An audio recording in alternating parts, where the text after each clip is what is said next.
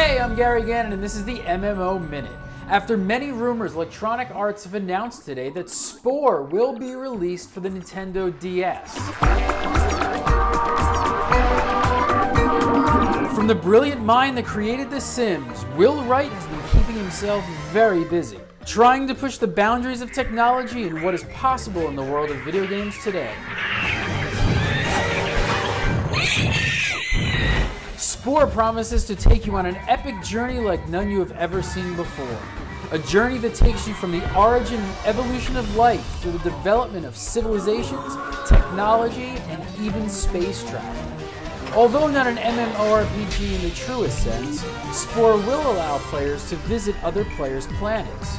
Using an abduction beam, you will be able to abduct creatures and let them loose on your own planet. This will then in turn affect how the evolution cycle of your planet evolves. Wright calls Spore a massively single-player game, which means it can dynamically integrate content built by other players based on their similarities. In 2006, Spore won E3's Best of award in the PC category and has become one of the most talked about titles of the year.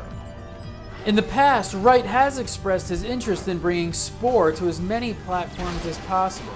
He says they are treating Spore as a franchise and not as a PC game.